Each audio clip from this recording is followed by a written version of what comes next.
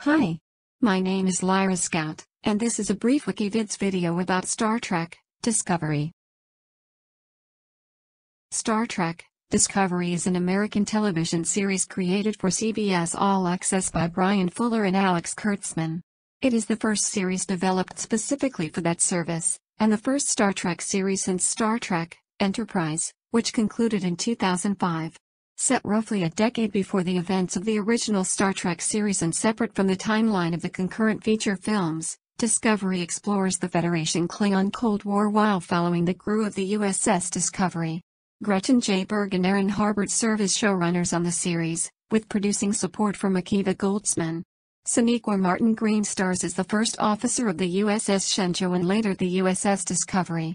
The new series was announced in November 2015, and Fuller joined as showrunner the next February. In addition to Fuller and Kurtzman, who wrote for previous Star Trek series and films, the crew includes several other previous Star Trek creatives. Fuller wanted to make an anthology series, beginning with a prequel season to the original series, but CBS asked that he make a single serialized show first. In October 2016, after further disagreements with CBS and struggles with other commitments, Fuller left the series, Berg and Harberts took over day-to-day production using a mythology and broad story arc established by Fuller, while Goldsman joined them as support. The production put emphasis on carrying on the legacy of the previous series, including making efforts to feature a diverse cast.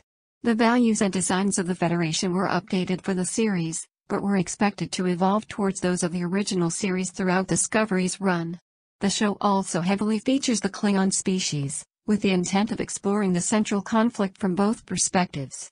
The Klingons were redesigned for the series, with influence from their previous appearances, the original inspirations for the species, and the novel The Final Reflection, as well as research on biology and evolution. The Klingon language is also extensively used in the show. Discovery is filmed primarily in Toronto, and has also been filmed on location in Jordan. Star Trek Discovery is set to debut on CBS on September 24, 2017, with that episode and the rest of the 15-episode first season being made available on CBS All Access.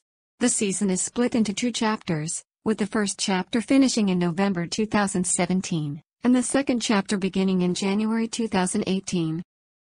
Well my friends, I hope you've enjoyed this brief video about Star Trek, Discovery. Until next time, this has been Lyra Scout for WikiVids.